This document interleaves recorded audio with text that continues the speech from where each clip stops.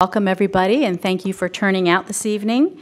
Um, this is Conversations About Ethics, and I am Ruth Berggren, Director of the Center for Medical Humanities and Ethics here at the UT Health Science Center. This is actually the 11th event that we've had for Conversations About Ethics. It's a series that explores ethical dilemmas that occur throughout the human life cycle. And we usually have two presentations annually, and oftentimes we select a theme um, for both of the presentations in any given year. Um, we are uh, partnering with the Ecumenical Center for Religion and Health, and together, our center and the Ecumenical Center receive generous support from Methodist Healthcare Ministries. So, would anyone who is actually representing Methodist or Ecumenical Center uh, please stand and be recognized? If they're not here, we will nevertheless thank them for their efforts. Thank you. Thank you, Methodist and Ecumenical Center, without whom we would not be having this event.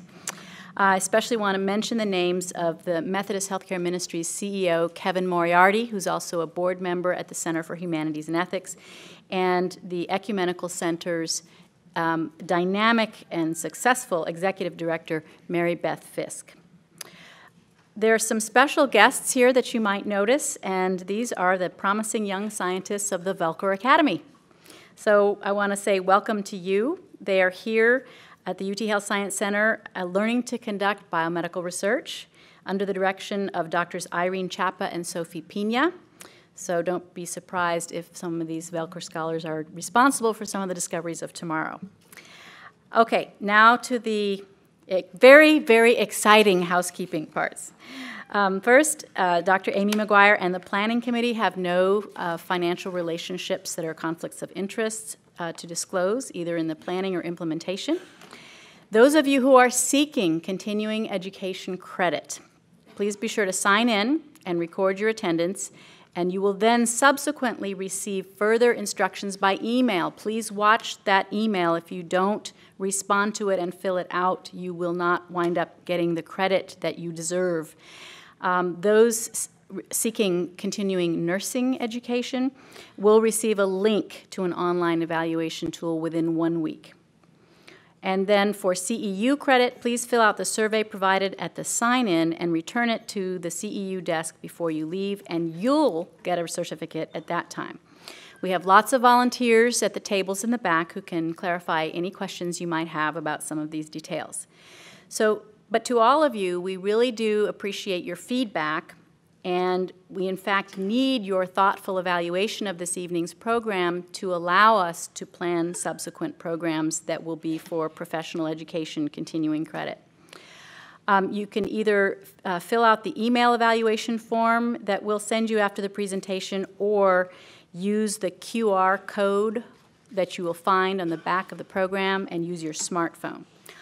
Tonight's presentation is titled Before Birth and Throughout Life Ethical Considerations in Genomic Sequencing and will be presented by Dr. Amy McGuire. She is an attorney bioethicist. How about that, Voelcker scholars? Did you know there was an attorney bioethicist? And she is from the Baylor College of Medicine. At this time, I'd like to ask our ethicist from the Center for Humanities and Ethics, Dr. Jason Morrow, to introduce our speaker.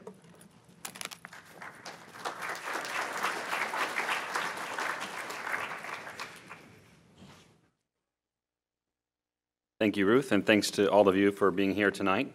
Our topic is an especially relevant one. Powerful new knowledge about the human genome is ushering in an era of personalized medicine. Researchers are answering questions that seemed out of reach even just a decade ago. Their findings are becoming a common part of patient care. It's critical that we understand not only the science of these breakthroughs, but also the legal, the ethical, and the social implications. Many healthcare providers feel unprepared to handle the challenges that come with an era of genomic medicine. Researchers, too, are wrestling with how to advance genomic research while protecting participants in the face of unknown risks. In a moment, Dr. Amy McGuire will help us consider some of the ethical dilemmas posed by genomic medicine and research. But first, let me tell you just a little bit about her. Dr. McGuire is the Leon Jaworski Professor of Biomedical Ethics and the Director for the Center for Medical Ethics and Health Policy at Baylor College of Medicine. Her research interests include ethical and policy issues in genomics and human genetics, with a particular focus on clinical integration of emerging technologies. Her research and writings have been published in prestigious journals, including the New England Journal of Medicine, the Journal of the American Medical Association, and Science, on multiple occasions. She is a member of the National Advisory Council for Human Genome Research at the NIH. Her current research is funded by the NIH's National Human Genome Research Institute and the Baylor College of Medicine Health Policy Institute. She received her Bachelor's of Arts from the University of Pennsylvania and her Juris Doctorate from the University of Houston, receiving summa cum laude honors at both, and her PhD with distinction with the, from the Institute for Medical Humanities at the University of Texas Medical Branch in Galveston. Now, this is where I met Amy in graduate school at UTMB. She, her intellectual acumen and her passion for learning is matched only by her passion for teaching, her wit, and her charm. She is at once a persuasive advocate, an educational innovator, a world class researcher, and a devoted mother. She is someone you want on your team. And we're so glad she accepted our invitation to join us in this stimulating conversation addressing one of the most challenging sets of ethical issues in our time. Help me welcome Dr. Amy McGuire.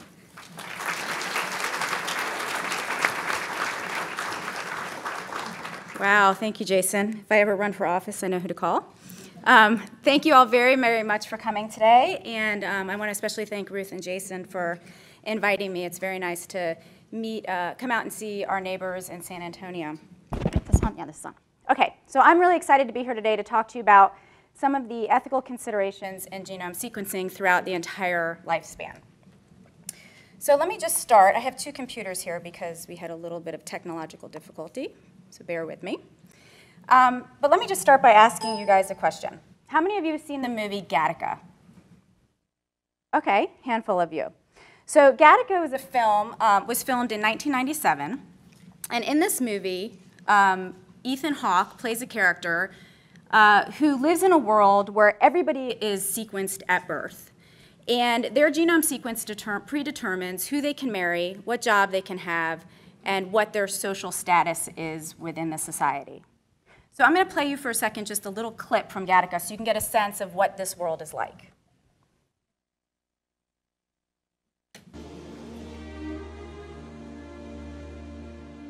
I was conceived in the Riviera, not the French Riviera, the Detroit variety. They used to say that a child conceived in love has a greater chance of happiness. They don't say that anymore. I'll never understand what possessed my mother to put her faith in God's hands rather than those of her local geneticist. Ten fingers, ten toes, that's all that used to matter. Not now. Now, only seconds old, the exact time and cause of my death was already known.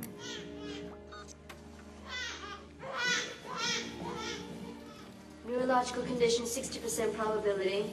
Manic depression, 42% probability. Attention deficit disorder, 89% probability. Heart disorder, 99% probability. Early fatal potential. Life expectancy, 30.2 years. 30 years. So in 1997, this was science fiction. But what I'm here to tell you today is that this very futuristic vision of reality is now upon us. So what is genome sequencing? Many people have referred to your genome as the book of life or your, blue, your uh, the blueprint of your biological self, right? So your genome is made up of all the genes in your body. There are 3 billion base pairs or letters across your genome. And those letters code for proteins that basically are the instructions for your, your body, for the traits that you have, your hair color, your eye color, and certain, um, and all of your bodily functions. Sometimes across those letters, there's a change or a duplication or a, um, a, deletion in those letters. It might be in a single letter, it might be in a group of letters, and many of those changes don't mean anything. They're, they're essentially harmless. Um, some of them code for things that make us different from one another and other of them other of those changes can lead to um, problems like future disease or current disease.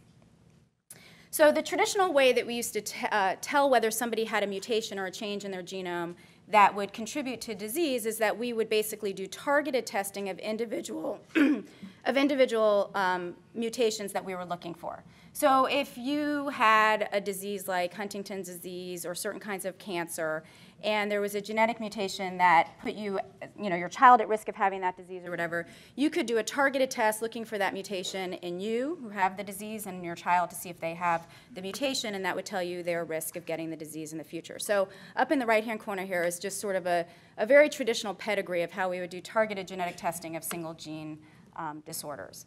But now, with through technology over the last decade, we've been able to actually look across your entire genome, all 3 billion base pairs, and see what changes occur across your genome, and then to interrogate those changes and filter through them to, to identify which of those have significance from a clinical perspective and which of them don't. And there's still a lot we don't know about which have clinical significance and which don't. But that's essentially how this works. This year, over 1 million people are estimated to have their genome sequenced across the globe. That is fairly remarkable, given the fact that the reference human genome was sequenced in 2003. It took 13 years and over $3 billion to sequence the reference human genome. It was a massive international collaboration and effort. The technology has advanced so rapidly since 2003 that by 2007 we were able to sequence the first individual human genome, and that took about a, cost about a million dollars and took about a month to sequence the first individual human genome.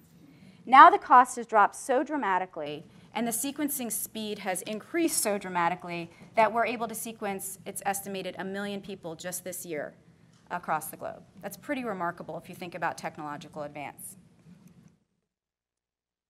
Many people envision a world in the not so distant future when everyone will be sequenced, potentially at birth, similar to the movie Gattaca. So this, these are some quotes from, the first one is from the NIH director Francis Collins back in 2009, where he said, whether you like it or not, a complete sequencing of newborns is not far away.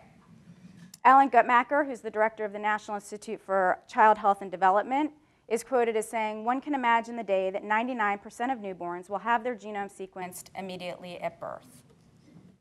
And there are many ways in which people envision us using, sharing, um, and playing with our genomic information. So many people think we will be sharing genomic information on Facebook, that that will be routine. We'll be social networking on the basis of our genomic information. And we'll be using it to find our perfect mate. So this is already an advertisement for discovering the magic of chemistry with genetic matchmaking. So you can send in your genetic, your genetic sample, they can do it, analyze it, and try to match you with somebody who is compatible at the biological level. And uh, potentially that might make for a better partner. Already we're using genome sequencing um, not only to diagnose disease and, and, such, but also to try to um, avoid having pregnancies in children who have devastating uh, genetic diseases. So we now can do non-invasive prenatal genomic screening. Um, we've always, for a very long time, done prenatal genetic testing. That's been common. But now we can do non-invasive testing. So when um, a mother is early in her pregnancy, we can take her blood, and because maternal blood has fetal cells in it, we can separate out the fetal cells, we can sequence the fetal cells, and we can get the genome sequence, sequence of the fetus. And based on that genome sequence, we can tell whether the fetus is at risk of having very severe genetic anomalies. We can do pre-implantation genetic screening or genomic screening. This is when you need to have in vitro fertilization and you have an egg and a sperm outside of the body. You're going to fertilize them in a petri dish. You can take one cell from the fertilized embryo and you can do genome sequencing and tell the entire genome of the embryo, and you can then select which embryos to implant into a woman based on the genetic makeup of that embryo. And this is typically used to avoid very severe genetic, genetic anomalies, but you can imagine it being used for other types of genomic enhancement. Some people even talk about designer babies. And it, this is real. This is in the news now. So a very well-known commercial um, genetic testing company, 23andMe, um, this is a company where you can send them a saliva sample and they'll do a SNP array, which is looking across many, many points across your genome, not doing a whole genome analysis, but looking at many points across your genome. And they'll tell you about different risk factors that you may have for different diseases or traits based on your genetic information. They have a software algorithm called the inheritance calculator. And this is kind of a fun little tool from a marketing perspective. And what, you, what they do with this is you can send in your saliva sample, and your partner can send in their saliva sample, and they'll match them up, and they'll say, well, based on your DNA, uh, you guys are at X percent chance of having a child with blonde hair, blue eyes, freckles, and a low risk of Alzheimer's disease and breast cancer, based on the newest and greatest scientific evidence that we have around those diseases. So 23andMe recently, um, just this past year, uh, got a patent on their inheritance calculator. And one of the big things in the media was how they were going to use this and market it. And one of the concerns was, and one of the potential, I guess, commercial, commercial bill um, aspects of this was, to sell it to fertility clinics. So if you need to go in and have a sperm donor or an egg donor to help you conceive a child, instead of flipping through the big book where you're looking through baby pictures and some medical history to figure out who your perfect biological mate might be, you could send in your DNA sample. They could analyze your DNA. They could also analyze the DNA of all of the donors and potentially match you with somebody who increases your risk of having a child with blonde hair, blue eyes, freckles, and a low risk of Alzheimer's disease. So if you were given the opportunity, would you have your genome sequenced? Would you use genomic sequencing to help you have a child with a low risk of disease or to have a child with certain biological traits? If yes, why? And if not, why not? So these are really important questions to begin to consider. So clearly there are some examples where having genomic information could be very beneficial and maybe even life-saving. So just by way of example, I want to introduce you to the Beery twins. This is Noah and Alexis Beery. They were born in 1996, and at age two, they were both diagnosed with cerebral palsy. Their, their medical conditions continued to get worse. Um, Alexis's was worse than Noah's, but they were both deteriorating pretty rapidly. And their mother was a very, very active parent, a very active participant in, um, in their, her ch children's medical care. And so she was constantly reading up on the, in the medical journals on new articles, and she came across an article that talked about a, a disease that's not cerebral palsy. It's called dopa-responsive dystonia. And it mimics cerebral palsy, but it has a couple of distinguishing characteristics. And one of those characteristics is that for kids with dopa-responsive dystonia, their symptoms tend to progress throughout the day. And she was noticing that that was true of her own children. And so she consulted with her children's pediatricians, and they decided together to start the kids on a low dose of L-DOPA, which was a, created a dramatic improvement in the kids' um, health. So within a couple weeks, Alexis, who could barely stand up without falling down for more, for more than five minutes, was now able to get in a car and put on her own seatbelt. And within um, a few months, the kids were able to start playing sports and music and participate in the daily activities of a young child. And they pretty much lived a very healthy, normal childhood until they were about 13 years of age. And then their, their um, disease started, started to regress again, their medical condition. And Alexis started having difficulty breathing, significant difficulty breathing. Noah was also deteriorating and was struggling with tremors um, when they were 13. And they started again going back into the, the uh, pattern of going to see doctors, getting all kinds of testing done, all kinds of workup done. There were no answers, and it was very frustrating. Well, in 2009, Alexis and Noah's father got a job at Life Technologies, which is one of the biggest um, genome sequencing companies. And in 2010, he decided, you know what, let me see if I can get my kid's genome sequenced and if it will give us any new information about their disease. So he had their genome sequenced. Um, it was actually done at Baylor College of Medicine, where I work. And, um, and they, the researchers at Baylor actually found a gene mutation that both of the twins had inherited from both of their parents. And this mutation, because of its function, led them to believe that not only did the twins have a um, problem with dopamine production, but they also had a problem with the production of serotonin. So in addition to keeping them on low doses of L-DOPA, they added sort of a, a, very basic supplement that helped with their, um, with their serotonin production. And within three weeks, Alexis was off the nebulizer. Within a couple months, she was running track in high school. So these kids are now 18 years of age. They look perfectly normal and healthy. This is a picture of them.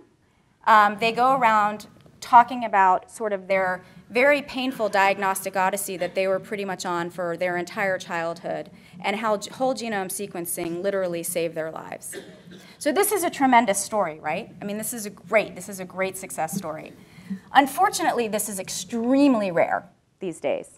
Um, so the ability for genome sequencing, this is the goal, this is the, this is the vision, this is sort of what we all are hoping for, is that we'll be able to sequence individuals, we'll be able to identify and diagnose very rare genetic conditions, and we'll be able to know based on that diagnosis and the pathway that's, that's um, involved in the mutation that we find, that we can change their treatment and we can improve health. And that's what we're all hoping for. And there have been a handful of cases, usually very highly publicized, where that has actually been the case. There have been a lot, much larger number of cases where we don't actually lead, it doesn't actually lead to improved treatment because we don't know what to do yet, or we don't know enough about the disease. But it still helps families tremendously in ending a very painful diagnostic odyssey. So this is a picture of a six-year-old Bertrand, Bertrand Might. You might recognize him because there was a recent New Yorker article on him a couple weeks ago with this picture. Um, but shortly after Bertrand was born in 2009, his parents knew that something was wrong with him. And for the first several years of his life, he underwent numerous medical tests, including genetic tests, but nobody could figure out what was going on with him. So in 2010, his parents connected with scienti scientists at Duke University, and they decided to do whole exome sequencing on him. And whole exome sequencing is sequencing all of the coding genes in the genome. It's significantly cheaper than whole genome sequencing.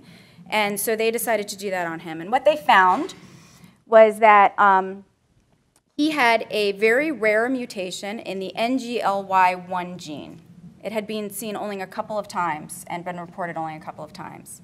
But this, they thought, contributed to and was the cause of his medical condition. So it turns out that this is an extremely uh, rare genetic change, but it helped explain his medical condition and knowing this information, his parents were able to use social media and social networking to connect with several other families across the globe who also held children who had this very rare mutation and were going through the same painful, isolated diagnostic odyssey that the Mights were going through. So although there's not yet any known treatment or cure for the disease that Bertrand is suffering from, in the New Yorker article that was published a couple weeks ago, his parents describe what a tremendous comfort it was to them to first get some answer to what was wrong with their child, and then to connect with others who are going through the same thing that they were going through. This is the much more similar to the typical case that we see in the genetics lab, um, where, where I am, and I think in most, most clinical genetics labs. So at Baylor, we have one of the um, largest clinical genomics labs where we do whole, whole exome sequencing. We're processing a couple of hundred samples a month. Most of them are pediatric cases, and most of them involve kids who have very rare undiagnosed genetic disorders. And what we're finding is that in about 26% of the cases, we're actually able to identify a genetic mutation that's causative for their, the child's condition. So 26% of the cases, for some of you might, that might sound pretty low, like gosh, only 26% of the cases, but for others, and particularly for these families who have spent years getting medical tests and diagnostic workups, um, having an answer is, is a tremendous relief and a tremendous benefit. So genome sequencing can be used beneficially not just to diagnose um, disorders that are undiagnosed, genetic disorders that are undiagnosed. It can also be used in some cases to predict future risk of disease.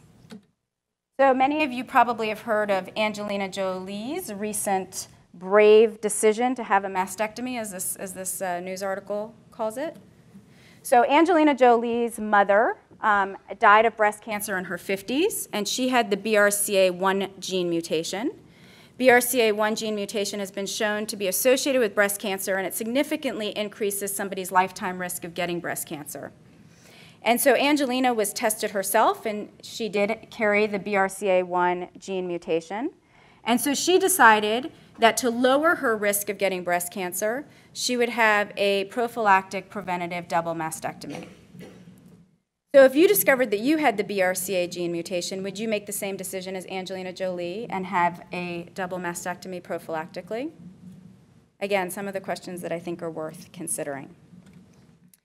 So while there are several examples like this that where there are clear disease associations when you find a genetic mutation. As I mentioned earlier, the vast majority of genomic variation between individuals has much less direct relationship with disease or behavior. So despite what popular media suggests, there is no single gene that determines your IQ. Sorry. There also is no single gene that determines your religiosity. And as good of as an excuse it may be, infidelity is still much more about what you take out of your genes than what's in your genes.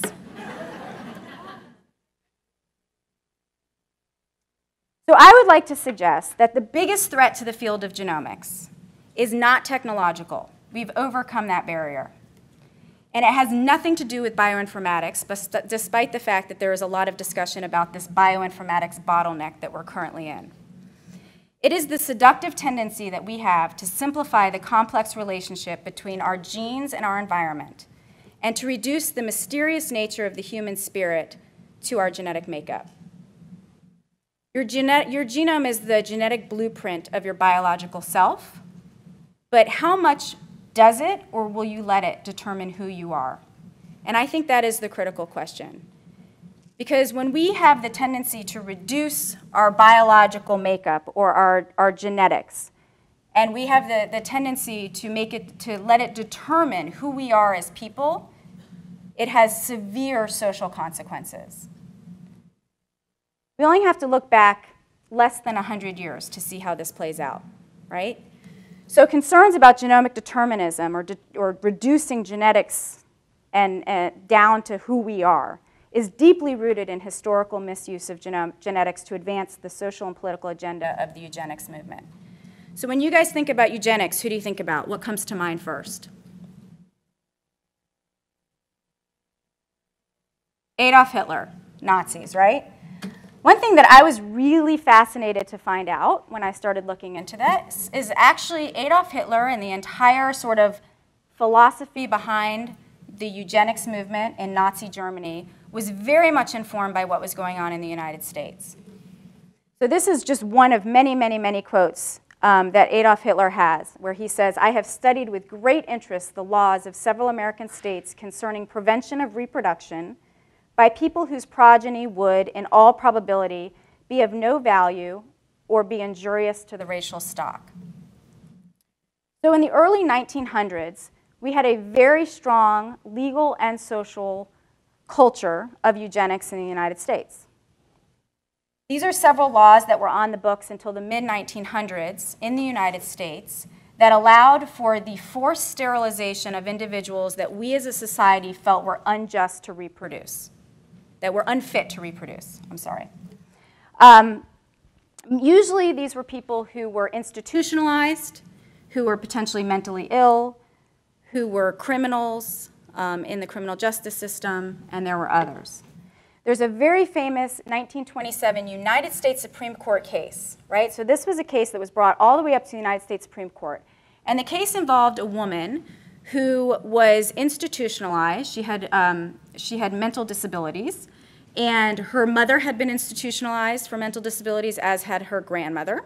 So she was the third generation of, of women who had been institutionalized. And the state of Virginia was trying to sterilize her against her will under the, the state law that allowed for that. And so a lawsuit was brought on her behalf uh, challenging the constitutionality of the Virginia state law. And in a very famous case that went to the United States Supreme Court, our United States Supreme Court upheld Virginia state law and said that it was constitutional for the states to sterilize individuals against their will and Supreme Court Justice, Justice Oliver Wendell Holmes was quoted as saying, It is better for all the world if instead of waiting to execute degenerate offspring for crime or to let them starve for their imbecility, society can prevent those who are manifestly unfit from continuing their kind. And he goes on, referring to the woman who had brought the lawsuit, or this, the lawsuit had been brought on behalf of, and says, Three generations of imbeciles are enough. Shocking, right? I mean, this is in the United States in 1927. Eugenics was also deeply embedded in our um, social culture in the United States. So these are really interesting photos that um, were, I think have been archived at Cold Spring Harbor Laboratories in New York from the 1920s and 1930s. And these are from the Kansas State Fair.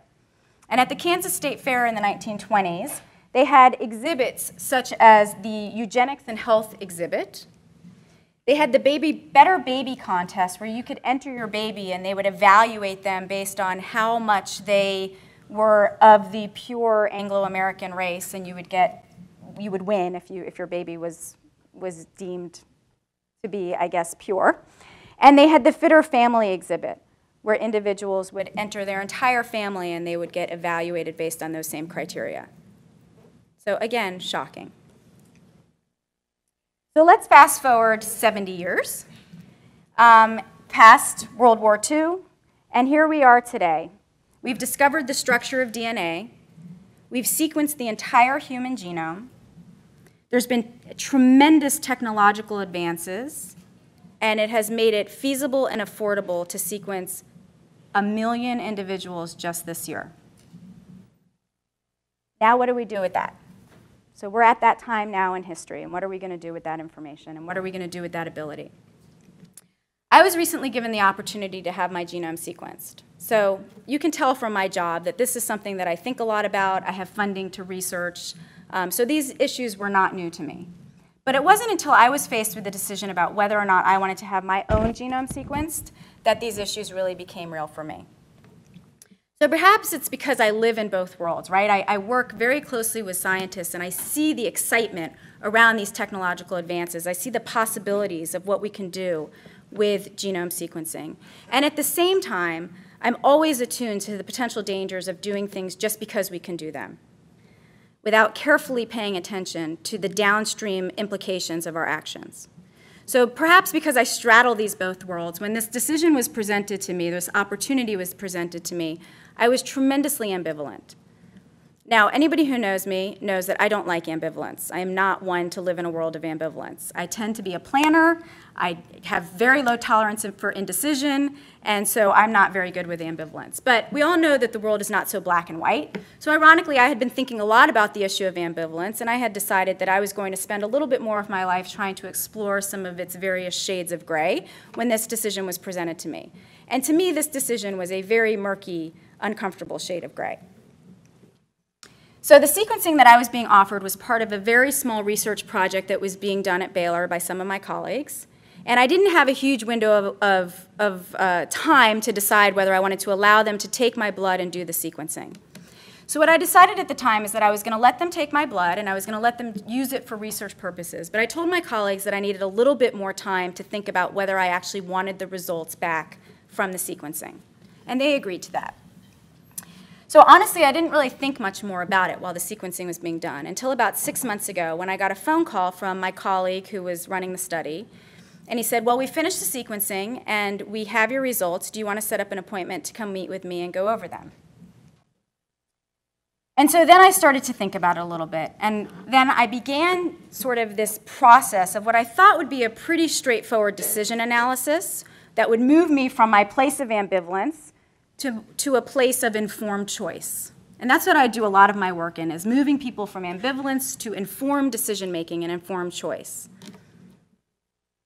But what I thought was going to be a pretty straightforward decision analysis, actually over the last six months, has morphed into a much deeper journey of self-reflection.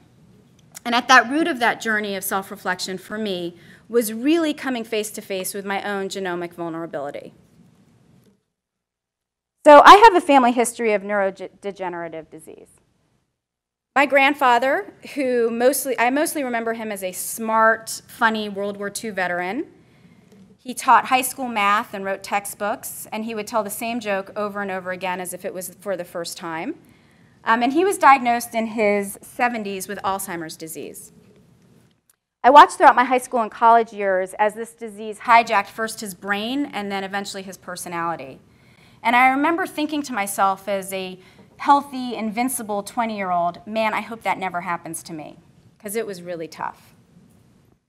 My mother, who's one of the strongest, most amazing women I know, was diagnosed in her 50s with Parkinson's disease.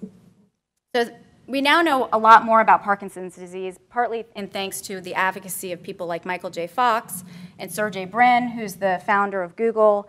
And uh, Michael J. Fox, of course, has Parkinson's disease. Sergey Brin his mother has Parkinson's disease, and he found out that he has a genetic mutation that puts him at increased risk of Parkinson's disease. And so they've both invested quite a lot of money and raised quite a lot of money to study not just the genetic contributions to Parkinson's disease, but also environmental contributions to Parkinson's disease. And what we know right now in terms of the science is that for most cases of Parkinson's, there are some exceptions, if you have genetic mutations in genes that have been shown to be associated with Parkinson's, it puts you at increased risk of getting the disease. It doesn't mean you're going to get the disease. And if you don't have that mutation, it doesn't mean you're not going to get the disease. It just tells you that you're at increased risk. So when I first considered this, I thought, well, knowledge is good. Why wouldn't I want to know about my genetic risk of disease? Now, of course, I know and I study all of the ethical concerns, the, the social concerns about getting genomic information and about genetic testing. So everybody that I talk to, when I talk to them about genetic testing, they're concerned mostly about privacy. They're concerned about discrimination, and that makes a lot of sense to me. I've done most of my research in the area of genomic privacy. I know that your genome is unique to you, and that I know that you can identify somebody ba just based on their genomic information. So our privacy is compromised whenever we have genomic information out there. And whenever we get it done, it's out there, right? It goes in your medical record, it goes on, you know, it, there's, I, I personally believe it's very difficult to keep any information private these days. I also know that there is some risk of genetic discrimination. So in 2008, we passed a federal law called the Genetic Information Non-Discrimination Act. This was after years and years of lobbying by many groups that we needed a federal law to protect against genetic discrimination. And this law does protect against genetic discrimination in the area of health insurance and in the area of employment. Now, we can talk about this law in great detail about what it actually does now that we have the Affordable Care Act and, and how it interacts with the American with Disabilities Act, but there are some major areas where, that this law does not cover and that people still worry about. And what you typically hear them talk about is concerns in long-term care, disability, and life insurance, because those are not covered under GINA and they're not really covered under any um, law. So you can still discriminate against people based on genetic information in those domains. But ironically, when I was thinking through my decision about whether or not to have my genome sequenced, I wasn't that concerned about my privacy, and I wasn't that concerned about genetic discrimination. I also wasn't so worried that I was going to freak out if I got this information. So this is another thing we hear a lot of people talk about is the, psycho, the psychosocial or the psychological response of having this information. It's going to overload us. We're going to freak out. We're going to find out that we're at risk for something like Alzheimer's disease, and we're going to get depressed and suicidal and anxious, and we're not going to be able to function. Um, well, I know that that's a possibility, but I also know that we're pretty resilient and we're pretty adaptable as human beings. And there have been a few studies that have been done looking at people um, who have had genetic testing, even at, pe for, at people who are at risk of things like Alzheimer's disease. And these studies have shown that people don't actually really freak out. Um, they don't get really depressed or really anxious, at least over the long term. Now, I'm sure there are exceptions to this, and the research isn't perfect, and we're continuing to do studies in many, many different populations about the psychological response, but that was not my main concern when I was thinking through whether or not I wanted to get my genome sequenced. But I was concerned a little bit about my response to the genetic information in a much, much more subtle way. And this reminded me of Jim Watson. So up here you see Jim Watson in the yellow suit. Um, Jim Watson, of course, was the co-discoverer of the structure of DNA back in the 1953, I think. And he's shaking hands and receiving a hard drive with his entire genome sequence on it from Jonathan Rothberg, who is the head of 454 Life Sciences. Jim Watson was one of the first of two humans to have their genome sequenced back in 2007. It was sequenced by 454 Life Sciences and analyzed at Baylor, so I was involved in this project. So Jim Watson, of course, had 60 years ago showed that genetics is the, um, is the basis of inheritance. And so it was really only fitting that he would kind of be the first person to get his genome sequenced. And when he had his genome sequenced, what he told us is I want all my information and I want to put it all on the internet except for my APOE gene status. So the APOE gene has been shown to be associated with risk of Alzheimer's disease.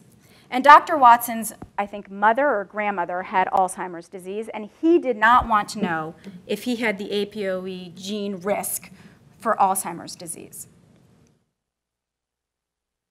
So I think what his major concern was with regard to getting this information was not that he was going to freak out or get overly anxious or depressed, but rather that he was going to then mistake at his age of, I think at the time he was in his late 70s, that he would mistake every single senior moment he had for the early signs of dementia. Now, Dr. Watson knows probably better than anybody else that having an increased risk for Alzheimer's disease based on your APOE gene status does not mean you're going to get Alzheimer's disease. But he also recognized the very slippery way that our human intellect attributes meaning to things in an effort to corroborate whatever story we have created about who we are and what will become of us.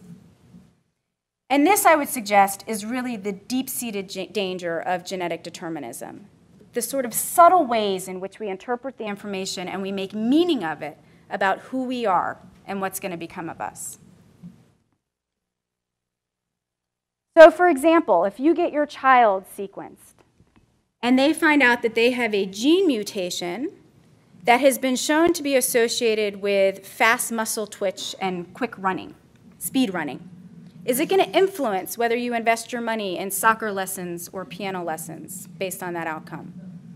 That's what this company is trying to suggest that you should do. You can send a saliva sample of your child and they will test them and they'll tell you whether they were born to run or not. I would argue that's fairly dangerous. I think the ways in which genetic determinism seep into, the, into our interpretation of genetic information are, are Again, really subtle, but definitely there. So this is a story, and I think it's a good example. It's a reporter, a journalist, who had done genetic analysis on herself and her daughter through 23andMe when 23andMe was still allowed to do that. Now they've been at least temporarily shut down by the FDA. But this is her reporting on getting the results back from her daughter's sequence. She says, Later that week, I get an email addressed to my daughter, whom I, whom I had just tucked in for the night. Her 23andMe results are ready, and I approach them with an even greater ravenous, ravenousness than my own results. At first glance, everything looks great. And there it is, screaming out at me from my computer screen.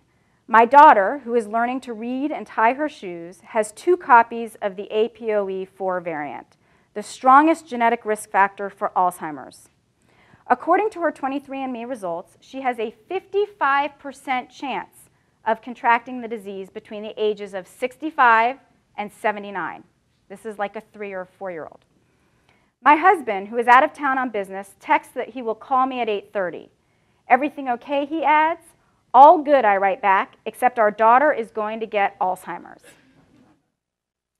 So this, I'm sure, had some journalistic sort of lenience to it, but I think this is very much the way in which we tend to think.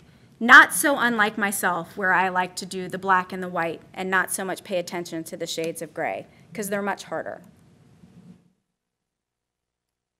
So I'm going to end by just saying that I think one of the biggest things we need to think about as we move into this era of genome sequencing and the affordability and feasibility of doing it at a very, very large scale is what meaning we make individually and collectively of the genomic information that we get back. Our, genetic, our, our genome is the genetic blueprint of our biological self, but it does not define who we are. Take questions. Yes.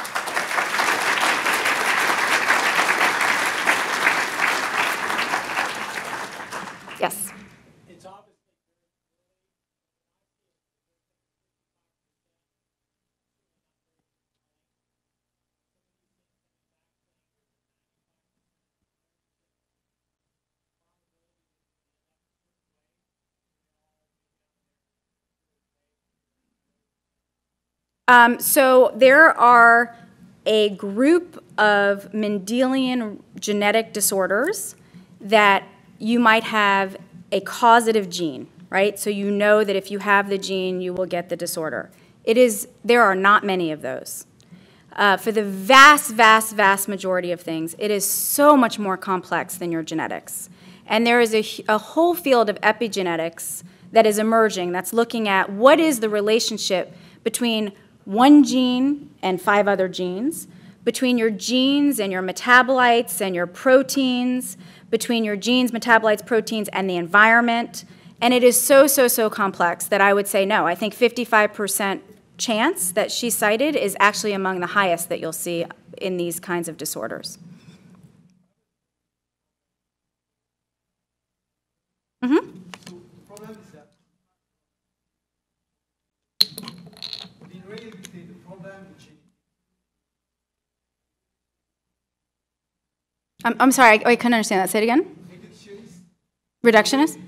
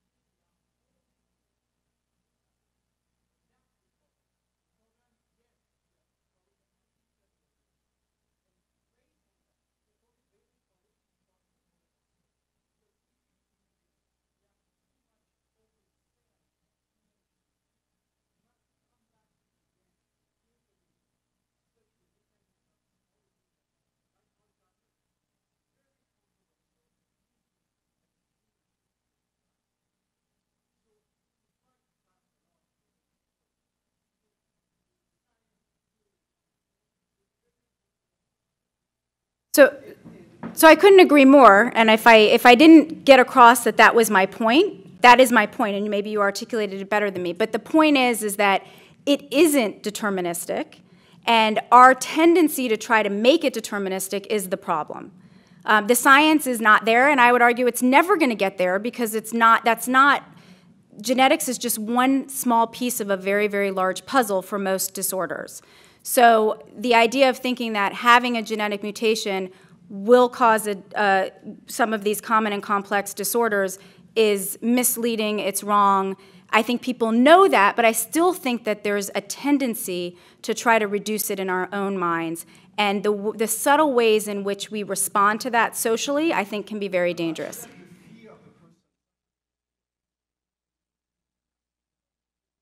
Yeah.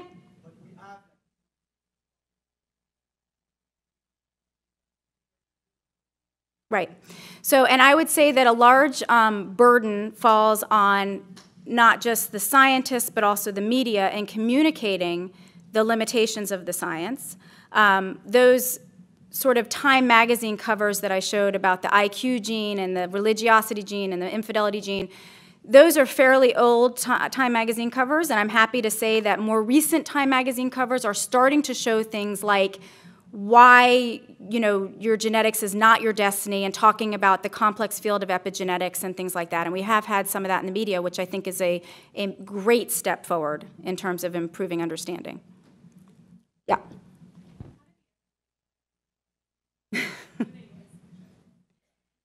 So the fda it's a very complicated story but the fda has been um, thinking about regulating in the space for several years now and they've been in communication and negotiation. For those who didn't uh, hear the question, it's how did the FDA shut down 23andMe? Um, they've been in communication and, and, conversations with companies like 23andMe, um, trying to figure out how they can best regulate at least the health claims that are being made by these companies based on their genetic analysis. And to make a very long story short, there were certain things that the FDA said that, uh, that 23andMe needed to do that weren't done, and so they issued them a cease and desist kind of letter. Um, I don't think it's the end of the story. I think 23andMe is still talking to them and negotiating with them. And the FDA is also looking into how it's going to regulate in other areas of this, not just commercial genetic testing, but also research projects that are that involve these this type of genetic testing and that sort of thing. So,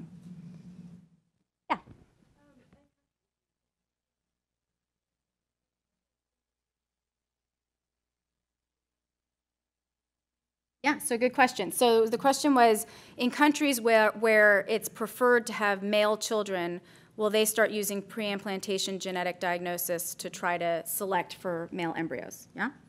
Um, so this has been a very hotly debated um, topic. Um, there are some cases where you can use pre-implantation genetic diagnosis to do sex selection, but some states in the United States have outlawed it, and there's a very big sort of ethical debate about whether we should be going down that route or not, and whether that should be allowed from a legal perspective or not. But I certainly think it's, it's one possibility and something that people worry about and think about. Yeah.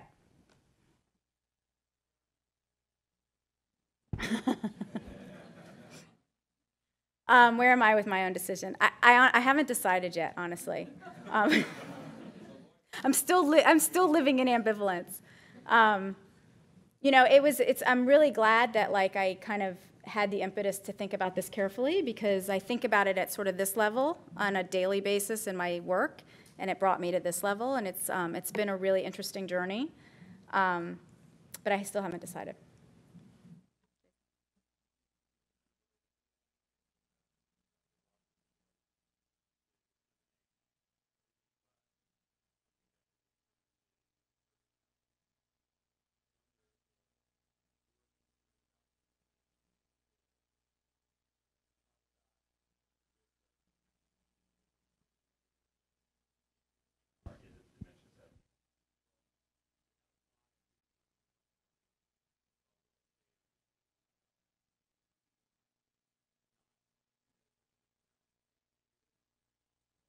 Mm-hmm. Does it really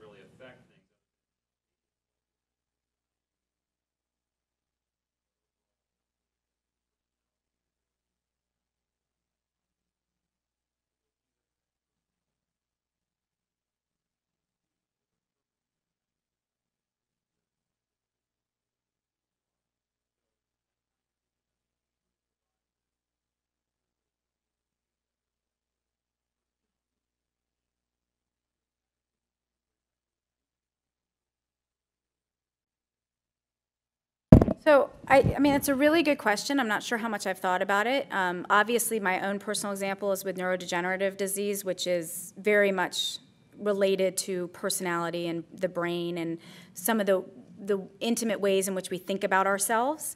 Um, so I'm not sure if I've really thought about that. Clearly, you know, being having heightened awareness about, you know, at, you know abnormal skin, things on your skin if you're at heightened risk for, for melanoma would be a good thing. Um, and maybe even being at heightened awareness for some of the things associated with these neurodegenerative diseases would be a good thing. So I'm not saying it's not necessarily a good thing. I think where we get in trouble is where we start treating people differently, thinking about people differently, treating ourselves differently based on an over interpretation of what that means. So, I guess what's been really challenging and interesting for me is that I know that if whatever my genetic results are, it doesn't mean I am or I'm not going to get a disease. But I don't know if I know that. You know what I mean? There's a difference, and, and I think that's hard. Um, and so I think, sort of, until I feel like I know that, and I'm like solid in that, then I think it's a, for me individually, um, it's a really challenging thing to do. Yeah, Ruth.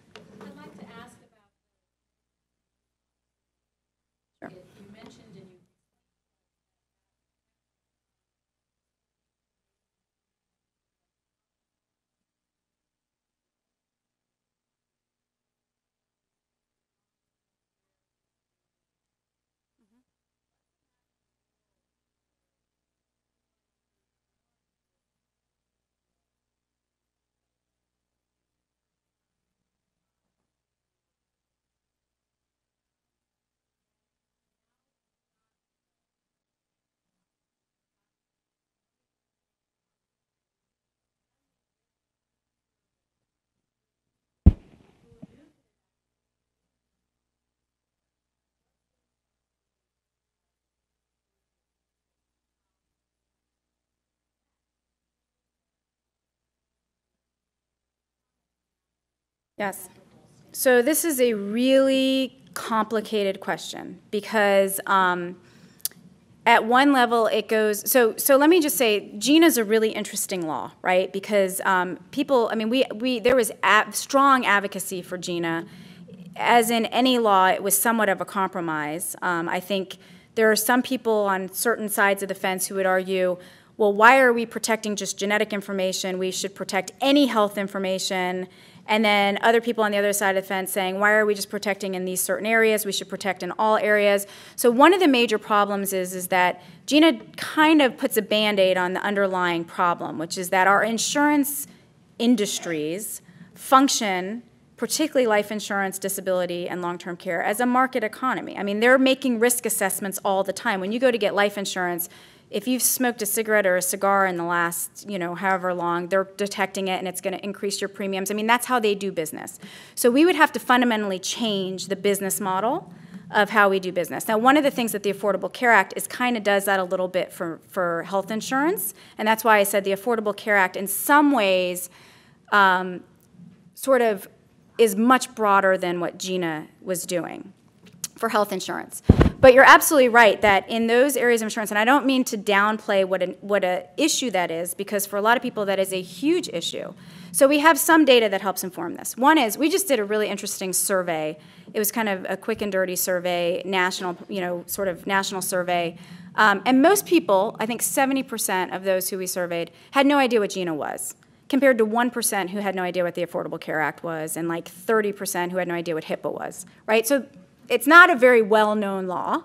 So I'm not sure people really know that it, that it protects them or what it protects or what it doesn't protect. When we actually told them about what GINA was, um, about a third of them felt better. They felt a little bit more comfortable with their privacy and, and the prote their protections. And about a third of them felt much worse. like, oh, now I'm really worried about like those other stuff that it's not covering kind of thing. Um, we also know that since GINA was passed, there haven't been a significant increase in the documented cases of discrimination in health insurance or employment, but also not in life insurance, disability, or long term care. So you can interpret that in different ways. It could be that, well, maybe there's sort of this symbolic, you know, importance of GINA, which is that we're not going to tolerate as a society discrimination on the basis of genetic information, and so the other insurance, you know, companies aren't doing it. Another, another sort of read of it is it just doesn't make sense for them because what we were talking about before, the, what we know about genetics is not that informative for them to make decisions about whether they're going to cover somebody or not. So it, I think we still have to wait to see how it plays out um, in terms of what is the risk to any identified population, whether they actually are being discriminated against or not. GINA was in very much a, a law to um, to address public concerns about discrimination. It wasn't actually dealing with addressing a huge number of cases of discrimination that we were that were being filed. Um, there was some anecdotal evidence of discrimination, but not actual cases that we had um, as evidence. So, just from a practical perspective, I think we need to wait and see whether this is a real issue. Um, from an ethical perspective, I think it. I think you know, if we want to sit back in our armchair, it is an issue, and, and it really comes back down to the underlying um, way in which our insurance industry operates.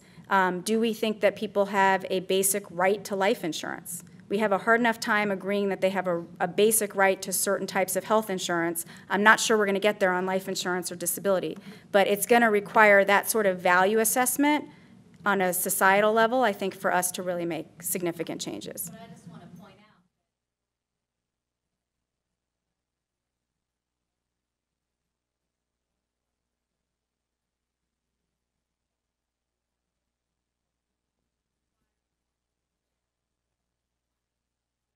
Sure.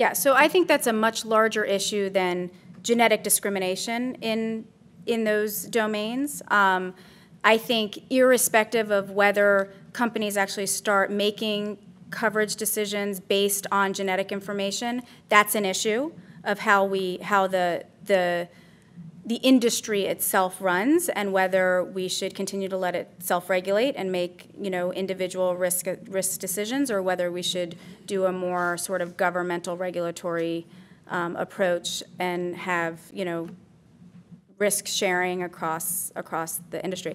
I can tell, you you know, just, I'm, I haven't been terribly involved in the legislative process regard, with regards to this. I've kind of been an outsider looking in. Not going to be an easy solution, um, but I think certainly it's worth talking about and thinking about from, from a societal and ethical perspective. Yes.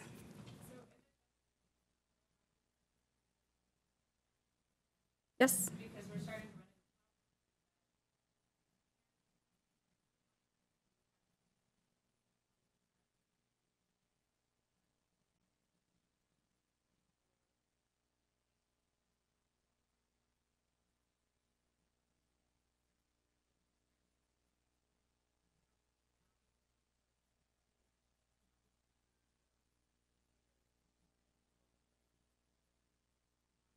Yeah. So this has, again, been a very, very, very hotly debated topic. Um, all of the professional consensus guidelines over the years have said you should not test children for genetic conditions that are adult onset, right? So if there's something that is not going to, there's nothing you can do about it in childhood, it's not, it's not going to manifest, if it manifests at all, until adulthood. You shouldn't test them because you should wait until they turn 18, allow them to make their own autonomous decision about whether they want the result or not and whether they want the testing done or not, and then allow them to get the testing. Um, the debate has been that there have been several groups that have argued that when it comes to genomic sequencing, that there are other considerations that need to be weighed against the future autonomy of the child. So, um, for example, you might be doing genomic testing on a child for one reason, and you, there's an incidental finding related to an adult onset condition that you weren't anticipating, right? Um, and there's no way for the parents to know that they're at risk for that because they don't know that they should get tested. But telling them that their child has it gives them information about themselves. So, how much should you take into account the potential benefit to the parents or other relatives as it compare, as it sort of weighs against the develop the future autonomy of the child. People talk about this about you know giving the child the right to an open future, um, the right to make decisions on their own behalf. So there's intense debate right now about how those things weigh out, and um, and I think part of it depends on the context in which you're doing the testing or getting the result. So it's one thing to decide to make an informed decision about whether to order a test. It's another thing once you've ordered the test about whether to, what decision you make about returning particular types of results if you have that in your hands. I also have written a lot about and thought a lot about what position that puts the physician in who has the information with regard to their own professional integrity if they decide then not to communicate that information to the family.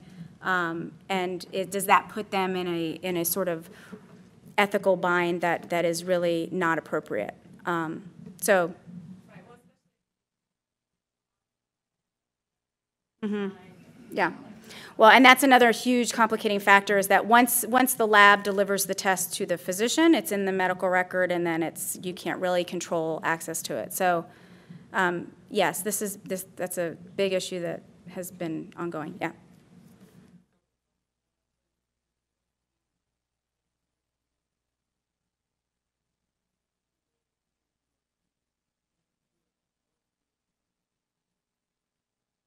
Got it right way? Oh, yeah?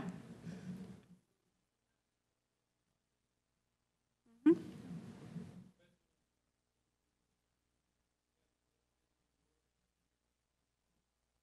True. That's true. I, I don't, do we have time? I, I know we're over time. I'm. Let's take one. Give it to one of our students.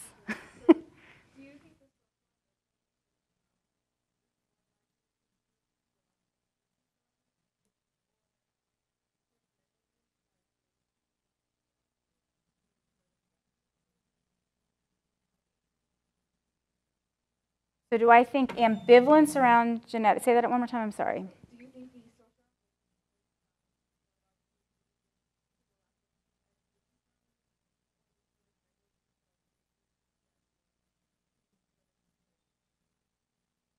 So I think, so the question was, is the ambivalence around, social ambivalence around genetics more attributed to lack of education or things like the FDA not, not doing more to regulate? Is that, okay. Um, so I think education, public education and professional education is a huge issue um, that I think we're just starting to hit the tip of the iceberg in terms of, of really being able to address. I think still, you know, overall health literacy is really low, genetic literacy is super low. It is really complicated. Um, I know a lot about genetics, and I still don't know a lot about genetics. I mean, it's it's it's a really complicated um, concept.